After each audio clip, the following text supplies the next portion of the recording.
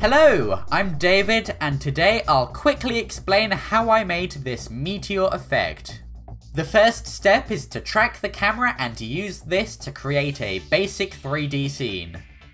I downloaded a photo-scanned meteor model from Render Crate and animated it to fly into the ground.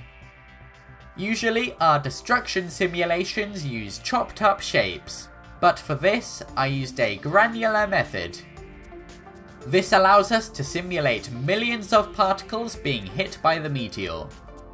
Having them stick together gives the appearance of gigantic clumps of dirt being blasted into the air. We then assign each of the particles a simple dirt coloured shape to give the particles volume.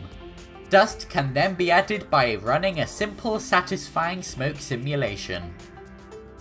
As simulating smoke is pretty slow, I decided to use Embergen for the main simulation.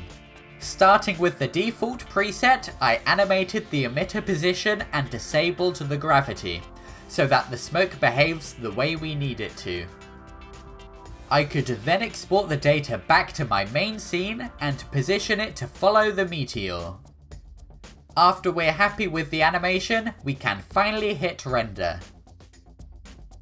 In After Effects, layer the rendered animation over the video. I downloaded a bundle of dust effects from Footage Crate, and added them to the base of the explosion to help blend everything together. The new airburst effect also helps to add extra power to the explosion.